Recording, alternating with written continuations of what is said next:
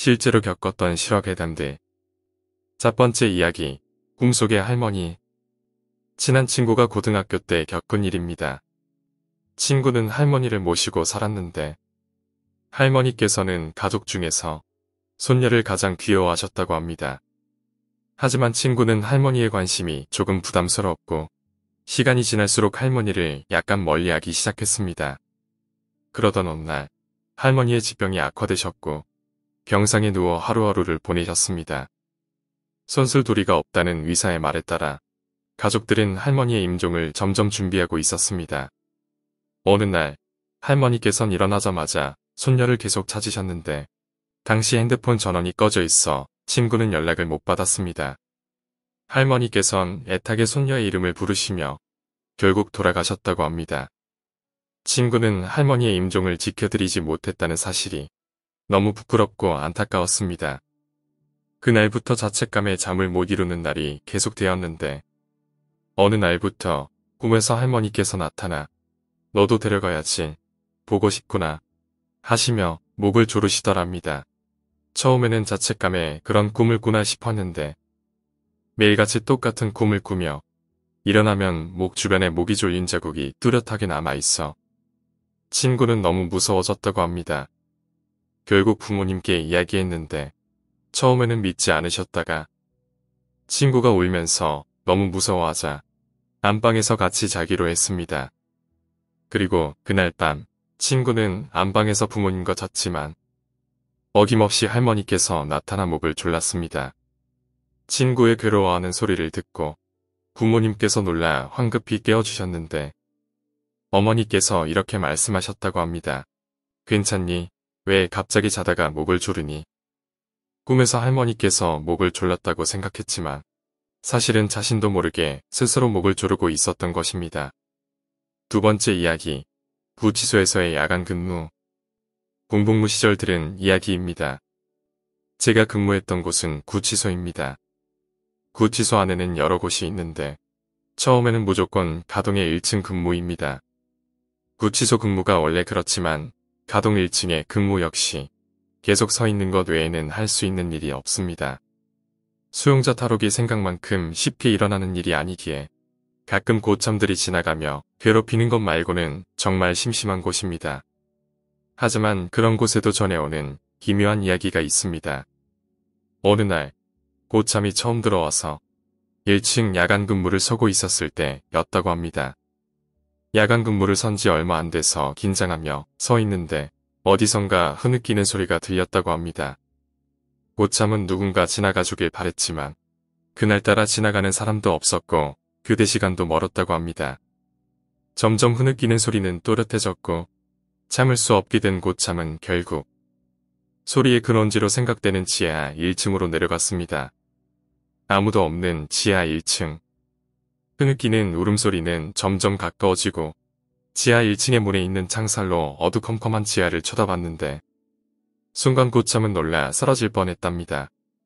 흰 옷을 입은 여자가 피트성이의 아이를 안고 서럽게 울고 있었는데 고참이 쳐다보는 순간 눈이 딱 마주친 것이었습니다. 고참은 정말 혼비백산에서 1층까지 단숨에 뛰어왔는데 덜덜 떨면서 다른 근무자를 찾았지만 아무도 지나가지 않았다고 합니다. 사람이 있을 만한 곳으로 가자니 근무지 무단 이탈로 징계받을 것 같아 벌벌 떨며 누군가를 기다렸다고 합니다. 혹시라도 여자가 쫓아오지 않을까 긴장하고 있는데 어느새 고참 옆에 직원 한 분이 와 있었답니다. 너무 긴장한 나머지 직원의 얼굴을 보고 넘어졌고 직원은 왜 그러냐고 물었습니다. 아무래도 밑에 누군가 있는 것 같습니다. 너무 무서워서 근무를 못하겠으니 보안과의 말씀 부탁드립니다. 이렇게 고참은 사정했고 직원은 알았다며 다른 곳을 향했습니다. 고참은 곧 사람들이 오겠지 하며 나름대로 안심하고 있었는데 시간이 흘러도 아무도 오지 않았답니다. 결국 시간이 많이 흘러 교대 시간이 왔습니다. 특이사항이 없냐는 질문에 소대장에게 자초지종을 설명했는데 소대장이 놀라며 직원의 생김새와 옷차림을 묻고는 이렇게 말했다고 합니다. 아무래도 그 직원은 1년 전에 자살한 과장님 같다. 들리는 소문에는 여전히 나타난다고 합니다. 세 번째 이야기, 학교의 창고. 제가 다니던 중학교는 오래전에 지어진 곳이라 체육관이 없어서 운동장 뒤에 작은 체육창고가 있었습니다. 그중 한 채는 배구부의 라커룸으로 사용되었지만 뚜렷한 실적이 없어 폐부되면서 자물쇠로 잠겨 있었습니다. 그런데 배구부였던 선배가 말하길 전에 배구부원들도 그 라커룸에 들어가길 꺼렸다고 합니다. 창문도 없는 밀폐된 공간인데도 누군가 훔쳐보는 느낌이 나서 라커룸에 귀신이나 괴인이 숨어 있다는 소문이 돌았다고 합니다. 그런 이야기를 듣고 나니 왠지 호기심이 생겼습니다. 점심시간에 친구들과 폐쇄된 체육창고로 왔습니다. 문은 자물쇠로 튼튼히 잠겨 있었습니다. 저는 장난삼아 그 철문을 두드렸습니다. 밀폐된 빈 공간이어서 메아리 치듯 창고 안에서 똑똑하는 노크 소리가 났습니다. 친구들은 재미있다는 듯이 계속 두드려보라고 재촉했고 이번엔 조금 힘을 실어서 문을 두드렸습니다. 역시나 노크가 끝나기 무섭게 똑똑하는 메아리 노크 소리가 났습니다.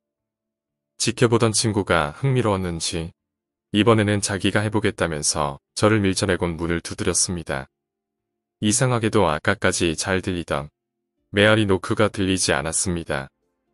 친구는 주먹으로 힘껏 문을 두드리고 발로 차보기도 했지만 끝내 메아리는 울리지 않았습니다. 한 명씩 돌아가며 문을 두드려봤지만 결국 아무도 그 메아리 소리를 내지 못했습니다. 이상한 생각이 든 아이들은 저를 떠밀며 다시 한번 문을 두드려보라고 했습니다. 겁은 났지만 용기를 내어서 다시 두드려 보았습니다. 다른 아이들이 할 땐 울리지 않던 메아리가 제가 아니 다시 들렸습니다. 모두들 놀라 도망친 건 당연한 일이었습니다. 그날 저녁 학교에서의 일을 들으신 외할머니께서 이렇게 말씀하셨습니다. 아무도 없는 방인 걸 알고 있는 이상 함부로 문을 두드리는 게 아니란다. 없던 곳에도 누군가가 생긴단다. 졸업 후 체육창고는 철거되고 그 자리에 체육관이 들어서서 이제는 찾아볼 수 없지만 아직도 그 노크 소리를 잊을 수 없습니다. 왜 저에게만 노크 소리가 들렸던 걸까요? 저는 창고 안에 있던 어떤 존재가 자신을 확인시켜주고 싶었던 거라고 생각합니다. 그 후로도 잠겨있는 문을 보면 으스스한 기분이 들곤 합니다. 네 번째 이야기, 아들의 잠꼬대. 가족끼리 여행을 떠났을 때 여관 주변을 이리저리 돌아다니자 쓰레기 투성이에 파묻혀 버려져 있는 지장보살이 있었다. 딱히 우리가 청소해야 하는 것도 아니기에 그대로 지나갈 생각이었지만 4살짜리 아들이 갑자기 주변에 쓰레기를 줍기 시작했다. 나는 아들을 칭찬하고 같이 쓰레기를 주운 다음 여관으로 돌아왔다. 밤에 아들이 잠들자 나는 아내와 함께 둘이서 맥주를 마셨다. 그런데 아들이 잠꼬대로 나는 필요 없으니까 아빠한테 줄게 라고 말했다. 옛날 누군가에게 아이의 잠꼬대에는 대답하면 안 된다. 라는 말을 들었기에 나는 말을 걸지 않고 무시한 채 잠에 들었다. 그런데 아침에 일어나 밥을 먹고 있을 때 아들이 이상한 말을 했다.